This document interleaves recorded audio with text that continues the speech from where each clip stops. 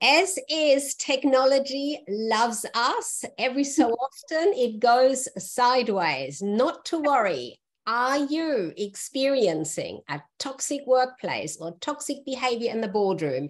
That's what we're here for. Now, my name is Sigrid de Kaste. I'm a book writing, publishing, and marketing specialist, and I help entrepreneurs, people in business make their dream of writing a book come true. A book that will serve you as a tangible representation of your brand and a testament to your knowledge and experience. And I have with me today Dr. Lizzy Bernthal, a resilience specialist, confidence and leadership coach. And I'm going to ask her all about how to become resilient to toxic behavior. Lizzy, welcome. Thank you. So excited to be here. Thank you.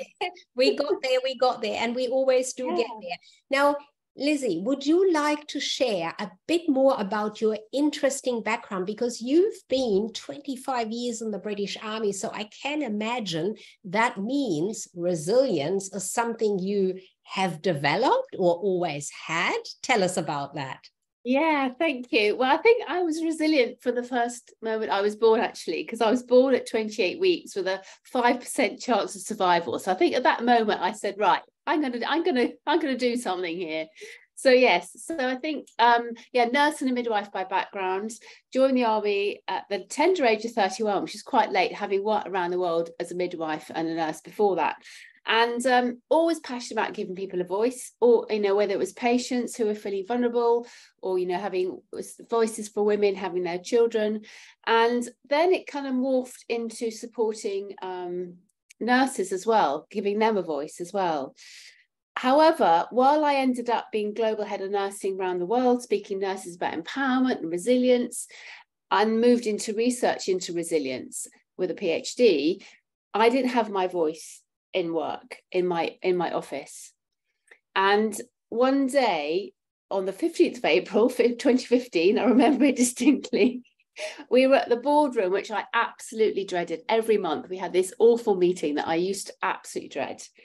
And my boss had undermined me one more time and i just stood up. I don't know something just came over me. I just stood up and said enough is enough. This has to stop. And obviously the room went silent. People looked very awkward looked down at their papers. And then something happened in me. I don't know what happened. My my sense of empowerment i didn't even realize i had just came out. Mm. and all these words it was all very calm all very controlled just came out of my body and said right this is it.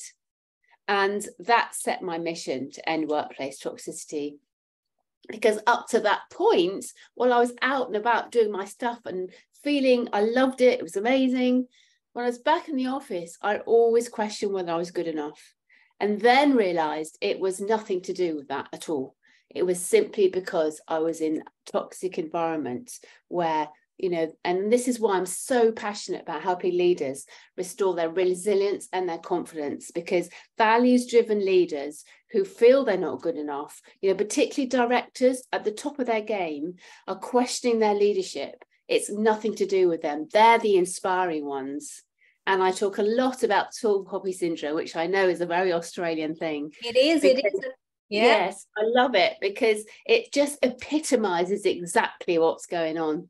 Mm. It's really interesting how passionately and how excitedly you are talking about this here. And look, it does come through. So something was inside of you. So I guess in a way, you know, there's this built in mission that we possibly all have but don't really know about yeah. it and you just you were just able to let it come through and and have it really show up and shine for you and take you on the path that you are now. So, you've already touched on quite a few interesting points here.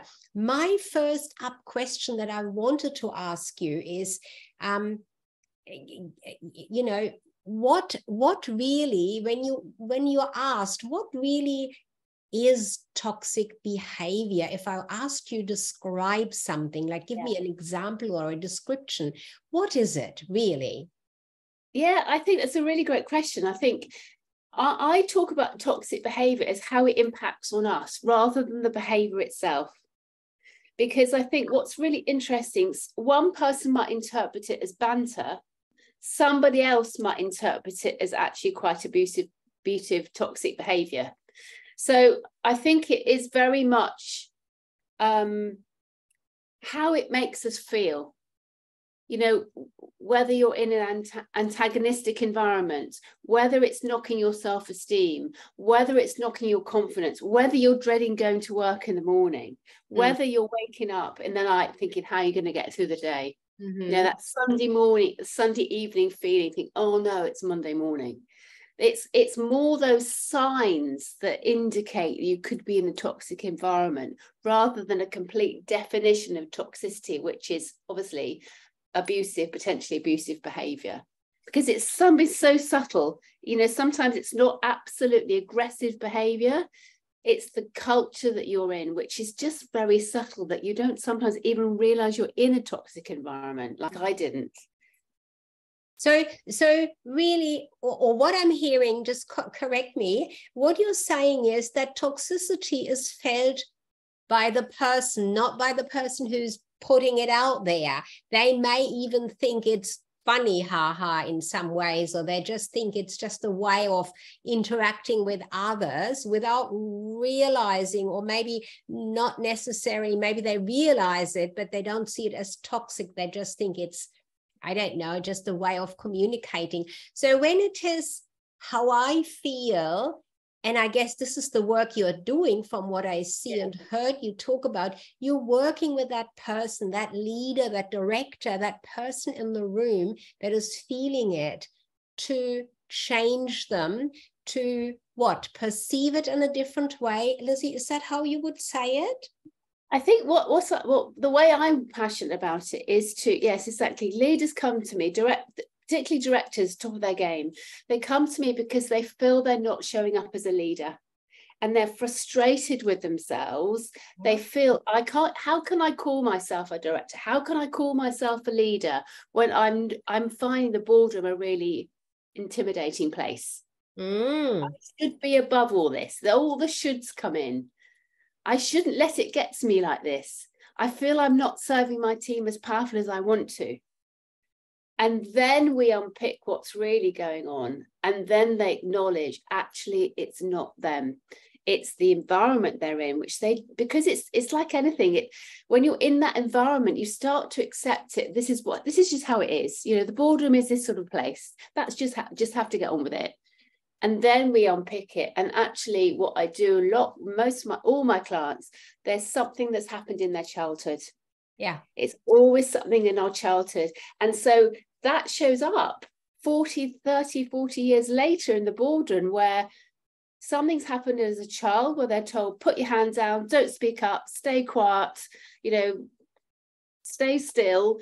And then 40 years later they can't speak up in the boardroom so you so you you're saying that it's actually male men as much as women. I mean, I know it from from women a lot that they feel that way that they are being almost attacked in a way, and they call it you know that's toxic behavior. The way that comes across, they yeah. feel it.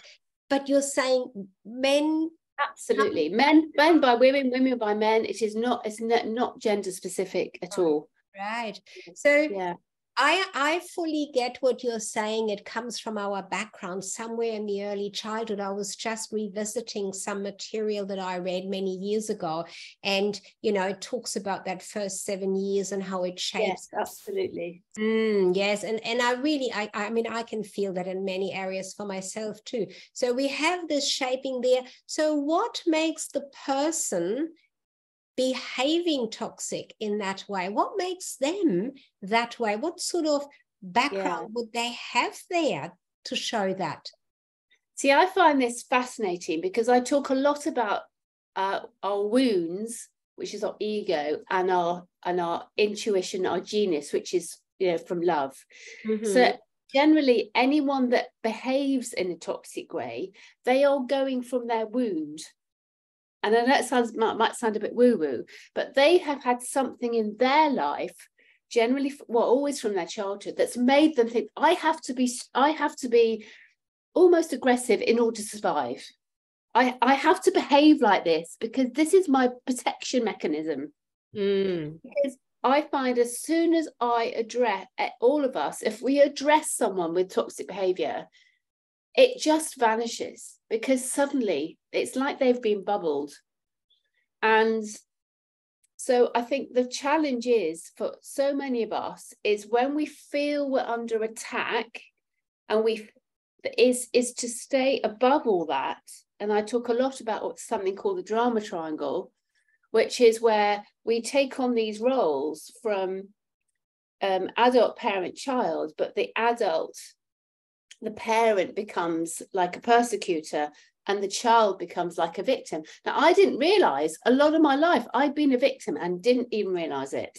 So I was I was absolutely up to being attacked because every post I had, I had a tricky boss. Now that what I realized this cannot be coincidental. There's something in me I was giving out, which I didn't even realize.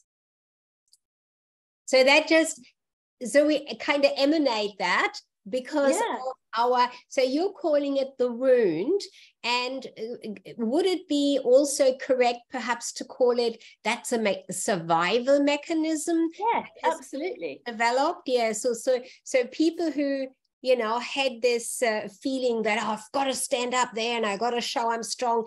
Yeah. and they become this toxic person. They that's their survival mechanism. That's how they think it has to happen. While on the other hand mika people i mean i, I, I would call myself a mika i don't i don't like Yeah, confrontation. Yeah. so you know i sort of stand back and say oh this is terrible. Um, and so it's just how we individually deal with these background issues and often don't even know about it so in your work and from what i saw you really have this vision and mission to bring this topic out there yes because Absolutely. does Mm. it help, Lizzy, when people first know about that this exists, that they can identify it easier and do something about it? Yeah, I, I think what's fascinating is I think what I, what I found really sad is that there is so much toxicity, and I'm all about positivity, so I don't mean this in a negative way. There's so much toxic culture within, particularly the corporate world, that it's accepted that's just how it is, opposed to thinking actually we can change it. Now, my mission is is to help leaders and or directors own their resilience own their confidence own their awesomeness their greatness within. Because when you show up powerfully it just doesn't exist. It just you just don't tolerate it. Mm. so that's my mission doing it from helping every director leader i meet to help them own who they are own everything within them and then they start they're the ripple in the pond and therefore toxicity is just not tolerated. And i do have a bit of a theme where um you know clients come to me and they either get headhunted because suddenly they show up powerfully differently in the boardroom because they think right i'm not tolerating this anymore and they watch it almost like a game going on around them. Or they just say right i'm a going i i, I hadn't realized this is so toxic. I'm out and I think that's really sad when you feel you have to leave in order to survive, Mm. opposed to let's just make this better. Mm. So what would so would your first step for people who feel they're in a toxic environment whether they male or female whether they are a director themselves or part of a you know of a, a larger Yeah. culture in a, in a corporation somewhere on the Yeah. board and they feel this is toxic here what what's the first thing that you want them to do? Is it to go and seek help or is it to just acknowledge hang on there is something wrong it's not me. What would be the first step? Yeah, the first thing I do is I have obviously have a conversation with them, Mm, and um, I find out a lot about their backgrounds. You know, and you know, what was your childhood like? What went on? How was your relationship with your parents? Um, you know, and I think the other thing that I find fascinating is is where in the in the order of child are you? Now, often it's the eldest because the eldest has by definition often parent you know your mother says oh can you go and get a nappy for me or whatever. So they become responsible from a much earlier age as the eldest child. And sometimes it's something as simple as they were the what their they were their parents world. A sibling comes along and they're pushed aside not intentionally mm. but just suddenly they're everything's focusing on the newborn baby which is totally understandable and but as a child aged three two three can think i don't matter anymore. Yeah that it, it actually that's something i i discovered in my own life this this moment in time where i felt well why not me? Why my brother yeah. who's younger? Yeah exactly yeah. that. But let me do a very quick recap. I think it's always good to remind what you've already shared because it's so important. So really what you're saying is this toxic behavior that is shown by people it's not gender specific can be male or female or whatever. It isn't gender specific yes? Yeah absolutely. Okay? Yeah. and it always comes back to how we feel, how we perceive something, comes back to our background, our child background. Something yeah. happened. Yeah. Whether we realize that or not. And like with myself, I did not realize that until very late in my life when it was pointed out, like what you are doing with your clients. You need to know that. So when a person is in a situation that they are feeling this is just toxic here and they come yeah. to you, you can take it straight away from the moment of asking them lots of questions forward. What do the people feel like when you discover with them together, when they discover with you, oh, that's what happened to me? What happens there to the person in that moment? Yeah, it's just a complete light bulb moment. Mm. And what is so wonderful is it's suddenly all the dots in their life just join up mm. and they realize that actually where they've been thinking they're not good enough all it is is collecting evidence from that viewpoint that they're not good enough and then suddenly completely flipping that and thinking no that was just you had those lenses on there yeah. i'm not good enough so no wonder i got divorced. I'm not good enough no wonder i didn't get that job. I'm not good enough no wonder it took me three times to pass my driving test. You know all, all these things that have happened in their life. Mm-hmm. and suddenly they realize it's because of that one or two three moments in their childhood. Now of course there are times when it is you know quite traumatic stuff that they're talking about Sometimes it's just a teacher told them to put their hand down in a maths class. Right, right. don't speak up. You know, give somebody else a chance to speak. You're always putting your hand up. Yeah. Um, so, so it is the most rewarding thing because then suddenly light bulbs go off, and then, then, but then, then we can start doing the real real great work of you know helping them identify their values because often are their values their vision their purpose. You know unpick those stories. Reframe that thinking about those stories. And um, and and this helps them align with their truest self. It get, helps them get rid of that body armor they feel they've got to put on in order to get into work. They become true to themselves because we all want to fit in. It's all part of being part of the tribe. However, fitting in is the opposite of belonging. Yes. Because, yes. Yeah, exactly. So once they start to belong to who they tr- their true essence of who they are, just they don't need the body armor anymore. And then they show up more powerfully than they've ever done before because they're unleashed. They're not like with a handbrake on.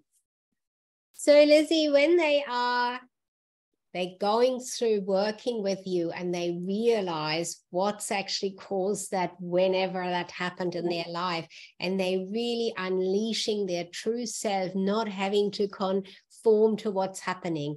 How does that look in the place where they before felt the opposite of that where they now step out and they are them? How does that how does that transform the surrounds? Does it transform the surrounds? Yes. So what what happens to them? I've had several clients. You know, one client I had, he got promoted twice during the program simply because he suddenly showed up in the boardroom, having been really nervous and you know getting two days of no sleep, thinking, I'm you know worried about it. Then suddenly, well, okay, I'm here. This is what I've got to say. Boom, and the direct the CEO said, I need the you, I need you on my board. Because he just suddenly showed up mm. powerfully. So and then headhunted. Yeah, yeah, right. So it's this it's almost like an energy. I mean, yes, I don't want to take it off the path here, but it's like uh, it to feels to me like, wow, if I have that energy that I know what I I know, and I go out there with that, things change. Yeah, so they become the ripper in the pond. Wow. And and then that's when then they start having empowered choices. That's the mm. difference. Up to that point, they don't feel they have a choice. Then everything is a choice. Even if we choose not to have a choice, we've chosen not to have a choice. Right. that makes sense. So then they think, right, I've got choice now. Do I carry on here? Or do I, I'm worth so much more than this? I'm going to go elsewhere. Yeah, right. And, and so they have that empowered choice then, rather than feeling I'm not good enough, what I'm never getting anything else. I just got to tolerate this. Got to just get on with it. And what makes me so sad is that I believe everyone is truly awesome. And it's so sad when you hear so many stories that individuals don't acknowledge that mm. because they haven't had that understanding and that awareness. So they're going through life feeling life's a challenge when having a conversation can just transform everything that's it, it's just amazing and you know when you're talking about everybody's awesome i i mean i feel like that when it comes to writing a book people i think nearly everybody has this dream most people have this dream but they stop themselves because of reasons that you've mentioned around the toxicity. I'm not good enough it's it's going around in the yeah. back of their mind but you're saying it can be overcome it needs to be worked on with somebody who is a professional in that field, which is what yeah. you are doing. So, in all of this work, do you feel that your background is a, a part of guiding people, not just through the business corporate scenario but that the perhaps the nursing side of things may have an influence here as well in how you help people yeah definitely. I think but partly because i've experienced all this myself. Mm-hmm. you know i've had i've been in afghanistan in all sorts of very dodgy places where i've had to use my resilience. And actually i've been in toxic environments in those extraordinary extreme environments as well. Mm. so i have kind of i've lived it and breathed it which means that i can really relate to what they're going through.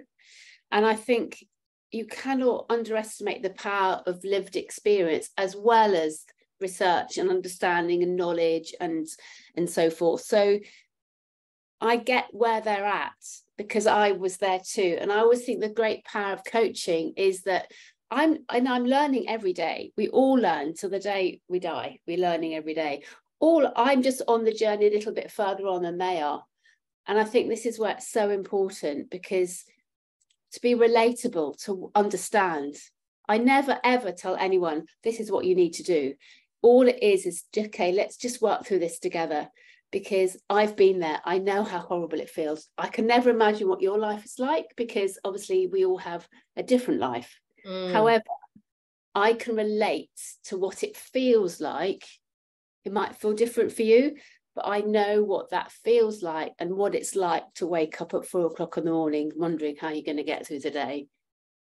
Incredible. So, what I'm hearing here is that really your background certainly has a lot to do with it. Yes, sure, you feel you were always a resilient person, but that area of nursing and certainly the army has given you that additional or that you know outside view that really can help people in the toxic environment to get from you to learn from you and to follow your guidance to get out of that. So when we are talking and using that word resilient yes you describe that? Uh, there a particular yes. description yeah i think for me are we all all talk, it's overcoming adversity. Uh, we, i think that's sort of quite a common definition of it. Mm-hmm. i think what i where my definition is slightly different to lots of others is that we hear a lot about about bouncing back.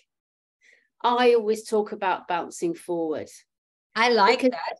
because we're never the same person as we were before the event. So if we think of us all the last three years you know if we if we in march 2020 when we went into lockdown in the uk if we said all we were going to have to deal with over the next well you know three years certainly the next following six months we would have said whoa no thanks very much i'm not going to manage all that and yet we have and we are always more resilient than we could ever imagine as has we've as proved mm. over the last years so i think that might it's it is it's the it's the overcoming the the top the adversity.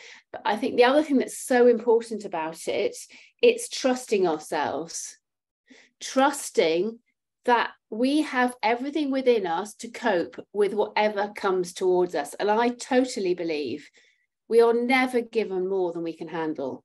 Even though at the time it might feel we have even at the time we might feel oh i, I can't this is just too much mm. we survive so we can deal with it. So it's having that confidence within ourselves that I'll get through this. We'll all get through this.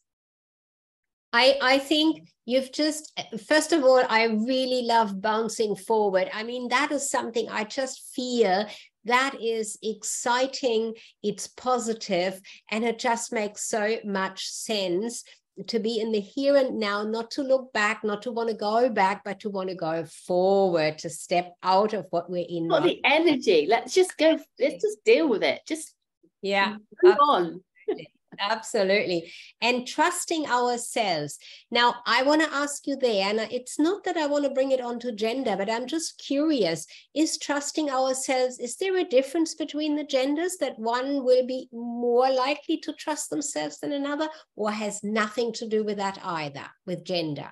Certainly, from my experience with the clients I work with, it makes no difference. Okay. It's responding to how what's happened in your childhood and how and i think what's what we all is the fact that how we respond is a very individual thing but i think we all know that actually somebody's um, greatest moment is somebody else's biggest tragedy. So redundancy is a classic example.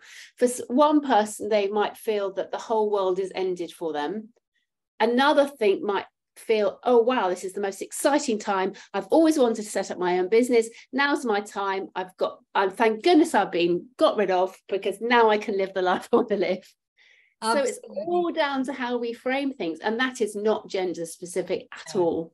No, no, I get that. The way you're explaining that, it really does make sense. And I do sometimes wonder when this gender thing comes into various areas of behavior and how we think and how we do things. I think sometimes it is perhaps looked at from a, a, a different angle, not necessarily the angle that we can really do something about it, certainly from what you are describing. If we if we were to look at a, a bit of a summary how you describe the resilience to overcome toxicity at the workplace or at the boardroom. Give us a summary around that, please, if you can. Yes. So I think it's owning your greatness within. That I mean, I think this is all, and that takes some unpicking sometimes, and that's why we have these conversations mm-hmm. because it's all about the individual because uh, it's like anything every every culture is created by a selection of individuals. Now of course the most important person is the ceo because he he or she um, you know directs the culture. I think where i would say about the gender thing the reason it has a bad press it's mostly men. It's often because still it's more more men that are in the boardroom. That's it Mm-hmm. Yeah, so it's not it's not a gender thing. It's just that you're ex- we're exposed to generally more men in higher positions than women. Yeah, that yeah. makes sense. That totally makes sense. I think that's what I yeah. meant. I said it's it depends on the angle you're looking at it. That's probably absolutely it. So great, great recap on that. Now to be resilient, do you have a particular tip around that? I know you have a fantastic tool that people can test their resilience or their their explain it. I don't want to yeah. say yes, way. Yes, so I've got, I mean, I can very much share with you. Um, I have a tox, uh, resilience to toxicity scorecard. It's literally 20 questions that takes under two minutes. It's quick, quick, quick, no thinking, just answer. And that, that can give you a score as to how um, resilient or not you are in that moment. And then after that, like I always give a free um, conversation after that to sort of say, okay, this is what you, you can do to help yourself here. This is what you can do to help yourself there. I think the most important thing is just acknowledging, and I, I talk a lot about body language, I talk a lot about, you know, just literally how just notice how you're holding your body. Mm. Because if when we're when we're scared, we kind of like crunch up. When we're confident and empowered, we open our body up. Yeah. And so literally by sitting in the boardroom and noticing what you're doing with your body can make you feel more confident. Are you sitting up right in the chair? If you can stand up, then stand up, you know, because by standing, you're naturally much more confident, you know. So, having walking meetings, if you're making a phone call, stand up when you make that call. Uh, because your energy, we're much more grounded when our feet are sort of on the floor. Mm. And notice the language. It's a whole other of the topic. But yeah, are you using empowering or disempowering languages? Language. So are you saying yes, I can do it, or no, I can't? So we have got the tools within ourselves. If always. No, yeah. Always. Always. Stimulation to find them by someone like you, of course, helps greatly but definitely take action if you are in such an environment that is unhealthy that you can feel is making you feel not good uneasy to do something about it. I love the idea to use your posture. That is one small thing although it might be difficult for some people to start with but it's breathe in stand up tall i'm only a short person so something for me to think about yeah. yeah.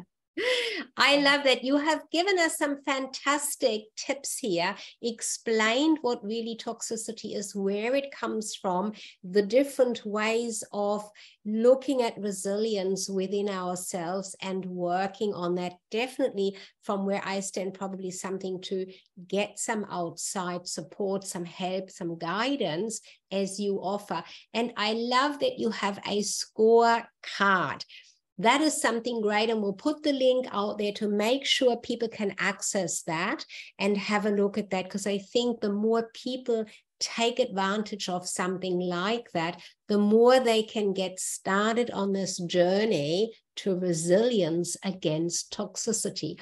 What would be some parting words you like to leave the audience, the listener with? Today? You're way more resilient and you have far more confidence that you ever believe you have. It's just having a conversation to acknowledge it.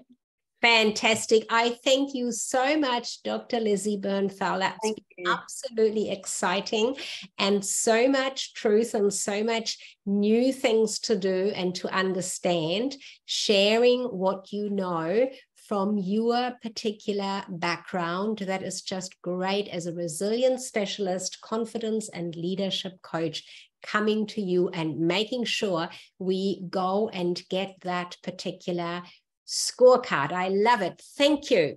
Oh, thank you so much. It's such a joy to speak to you. Thank you, thank you, thank you. And you know, thank you for anyone here that's listening. And I'm here to support. So wonderful. Great.